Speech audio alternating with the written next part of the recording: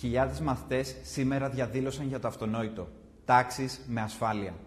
Με λιγότερους μαθητές ανατμήμα και περισσότερους εκπαιδευτικούς στα σχολεία. Οι εργαζόμενοι στο Εθνικό Σύστημα Υγείας απεργούν και αγωνίζονται για όλα αυτά που θα έπρεπε ήδη να έχουν γίνει. Πριν ο κύριος Μητσοτάκης κουνήσει ξανά το δάχτυλο στην κοινωνία και αναφερθεί στην ατομική ευθύνη, τον καλούμε να αναλογιστεί τις δικές του ευθύνες.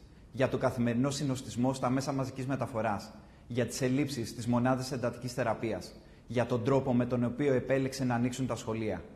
Οι δικές του επιλογές θέτουν σε κίνδυνο την υγεία όλων.